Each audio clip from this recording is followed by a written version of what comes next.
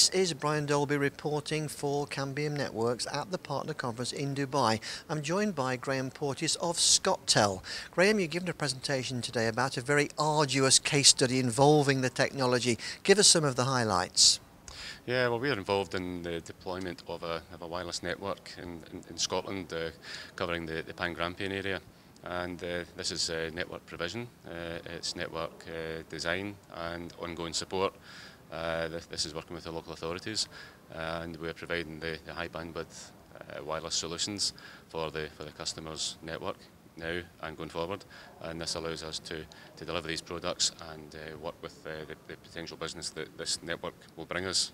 Yeah, now you, you say that in a very matter-of-fact terms, but tell our viewers about some of the conditions that you've had to overcome to actually deliver that network. Mm-hmm.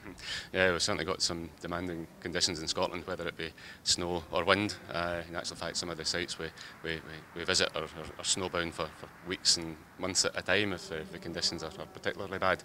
Um, so we have to have solutions that, that get around these, these bad conditions because the sites have to be unattended for, for long periods of time. And uh, so we can't afford the, the equipment to go down because of these conditions.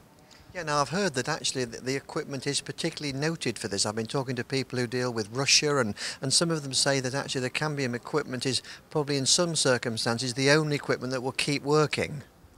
No, it's, it's a fair comment. Uh, we, we find that uh, when the, the site goes down, it's, it's very very seldom it's uh, due to the, the Cambium equipment, it's due to other, other factors, whether it be power or, or, or other pieces of equipment. So we're, we're very happy with the Cambium in surviving these conditions.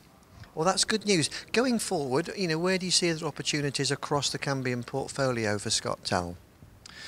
We see a continuation of the of the products and solutions we're, we're deploying today, and we certainly see uh, no no let up in that going forward with the uh, the financial constraints the local authorities and these customers are under just now, and, and also going going forward. Uh, we, we, we suspect that the solutions we're offering just now will be will be deployed in other areas. They are they are cost effective and they're providing uh, customer with cost effective and high bandwidth solutions that they, have to deliver for, for their their organisation and operational needs. Now we're talking here in Dubai where they never have these snow problems. Um,